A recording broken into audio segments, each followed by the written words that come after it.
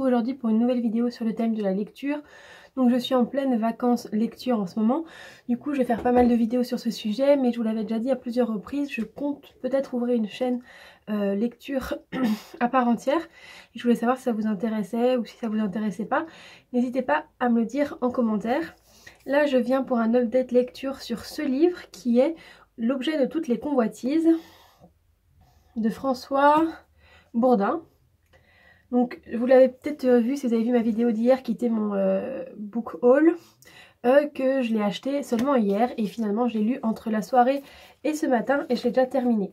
La raison pour laquelle je voulais revenir c'est que je vais faire des vidéos pas trop longues sur chacun des livres plutôt qu'une très longue sur, sur tous les livres parce qu'en plus au fur et à mesure du temps qui passe j'ai une tendance à oublier certaines de, mes pensées et c'est pas... si je fais un update lecture de tous les livres, beaucoup de livres, bah, j'ai plus un sentiment aussi comment on dit, vous savez, instantané en fait euh, du livre. Alors que là, je viens de le terminer, donc c'est encore très frais, euh, entre guillemets, dans mon esprit. Donc la raison pour laquelle j'ai acheté ce livre, c'est que c'est le premier MM que je lis, il me semble. Et euh, grâce à la chaîne de Nina Quill, j'étais très intéressée par les MM ou les FF. Et si vous ne savez pas ce que ça voulait dire, c'est des romances MM entre mâle, mâle et FF, femelle, femelle, qui changent les M F, mâle femelle, parce que euh, c'est des sujets qui m'intéressent. Euh, moi j'ai envie d'un peu plus de diversité dans mes lectures et puis je voulais voir si c'était empreint de clichés ou pas, si ça m'intéressait ou pas. Et euh, pas seulement avoir des idylles hétérosexuelles parce que c'est pas forcément... parce que j'aime bien changer, tout simplement. Donc ce livre était au prix de 6,60€. Il n'est vraiment pas très long. Il fait, on va dire, 250 pages. Et comme je vous l'ai dit, je l'ai lu en une soirée, donc il m'a vraiment plu. Euh, c'est une histoire d'amour qui est, je trouve, pas du tout cliché, qui est du tout, enfin selon moi, pas du tout stéréotypé. Alors c'est vrai qu'on retrouve... Euh, ben, la romance évidemment, il y a des choix à faire, il y a des, trahisons entre guillemets, mais je trouve que les personnages étaient vraiment bien développés. J'ai beaucoup aimé et ce que j'ai aimé là-dedans, c'est qu'on était vraiment attaché à tous les personnages et ils nous ont pas fait, euh, par exemple, dans si, deux personnages sont déjà en couple et qu'on veut que deux de ces personnages changent, on va nous faire euh, moins aimer les, couples des autres. Euh, par exemple, la femme de, celui qui doit partir avec l'autre personne, on va la faire un peu plus détestable, etc. On va faire comme s'ils avaient des problèmes dans leur couple. Du coup, en fait, on sera juste satisfait qu'ils qui switchent pour aller avec les héros principaux du livre. Mais là, c'était pas le cas. On n'a pas décrédibilisé une histoire d'amour, on n'a pas décrédibiliser des personnes pour qu'on soit juste content que euh, une des personnes abandonne l'autre personne pour aller avec le héros par exemple.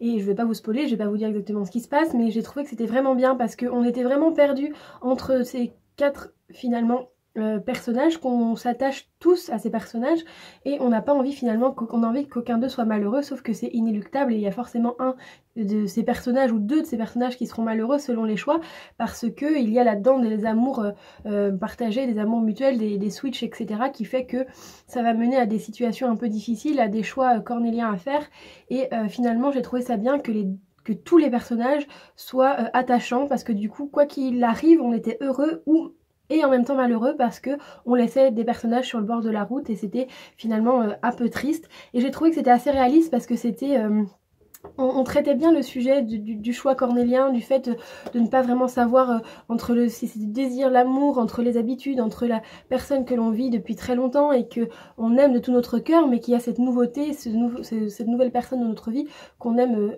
également. Et il y avait vraiment cette relation entre est-ce que c'est possible d'aimer deux personnes, euh, qu'est-ce que l'amour, qu'est-ce que le désir, qu'est-ce que l'attachement, euh, jusqu'où on peut aller par amour, quel mensonge on peut faire par amour et euh, d'où commence l'amour, d'où s'arrête le désir et d'où commence le mensonge aussi et la protection des uns et des autres parce que dans une situation comme celle-ci on va forcément blesser des personnes et est-il plus intéressant de ne rien dire ou faut-il être sincère et blesser des personnes mais mettre la vérité comme piédestal? Et ben voilà, c'est toutes ces questions que l'on se pose dans ce petit livre pas si long et je trouve que c'est super bien traité.